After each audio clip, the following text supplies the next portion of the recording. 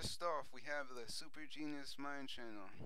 If you want to be a successful person, I recommend, highly recommend you this source as my number one source for being a successful person.